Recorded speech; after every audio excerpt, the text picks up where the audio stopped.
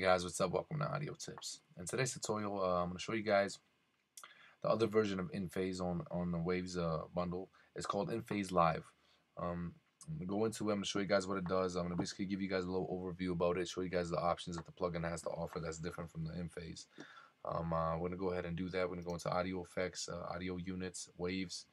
We're going to go up to InPhase uh, Live right here. Open it up. It looks the exact same, but this does uh, um, the effect live. So as soon as you're recording, you can you can do you can put an effect on it. So you guys want to go in the studio, uh, just tell your engineer to open this up.